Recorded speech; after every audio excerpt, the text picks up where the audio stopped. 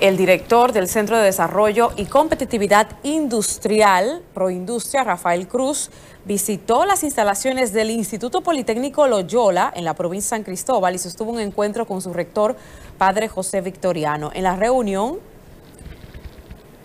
participaron además Gabriela Taveras, oficial de programas de la Agencia de Cooperación Internacional de Japón, y Daniela Peroso, representante del Programa de las Naciones Unidas para el Desarrollo PNUD. Durante el encuentro, Proindustria presentó el programa Desarrollo y Aceleración del Ecosistema Startup en República Dominicana. Albania Rodríguez, arquitecta del Departamento de Diseño y Desarrollo de Proyectos de Proindustria, introdujo a los presentes el proyecto que desarrolló tras recibir una capacitación en Japón mediante el programa de co-creación de conocimiento, desarrollo y promoción de nuevas industrias a través de la aceleración de la innovación.